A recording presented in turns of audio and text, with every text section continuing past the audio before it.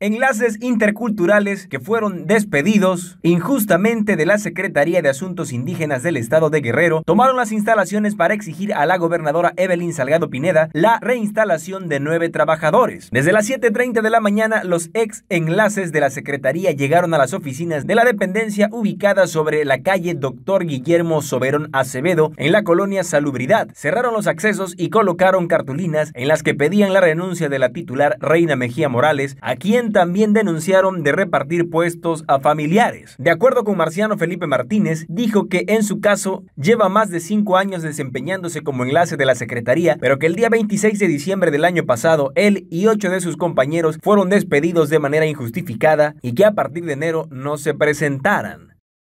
Este, bueno, como ya lo anunciamos, uno de los motivos principales por la que optamos nosotros, este, por tomar eh, ahora sí que esta institución, que es la Secretaría de Asuntos Indígenas, es por cuanto a la reintegración de nosotros como trabajadores de enlaces.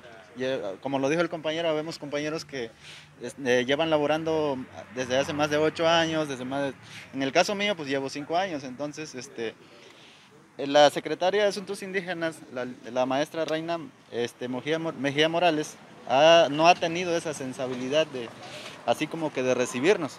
Hemos buscado la manera de dialogar, con ella y siempre nos ha evadido. Incluso si le pregunta a algunos compañeros que ellos son de base, los que están en la parte de atrás, nunca los ha querido recibir. Entonces es una señora que de repente se cierra en, su, en su mundo, ¿no? Por decir, no nos quiere atender como tal, cuando se supone que somos este, hermanos indígenas y se supone que deberíamos de ser más sensibles en cuanto a nuestro, este, digamos, a, nuestro sector que es el, el, indígena. Destacó que el día 11 de enero entregaron un oficio a la Secretaría para solicitar una audiencia en la que pedían se les informara el motivo por el cual estaban siendo despedidos, pero hasta la fecha no han tenido respuesta, denunció. Los inconformes fueron atendidos por Rafael Julián Arcos, director de negociaciones de la Subsecretaría General de Gobierno, pero solo les pidió que liberaran el inmueble sin ofrecerles una solución.